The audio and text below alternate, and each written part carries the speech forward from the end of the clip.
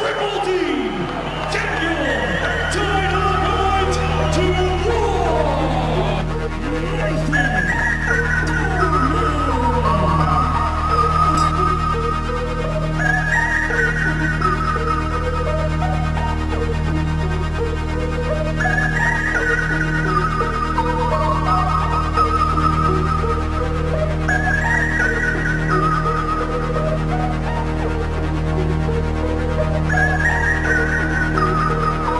think that Nathan's going to be my easiest fight so far. And after I've gotten Nathan out of the way, I'll go after Joe, Joe Joyce, and whoever else. We've done two 300 rounds together.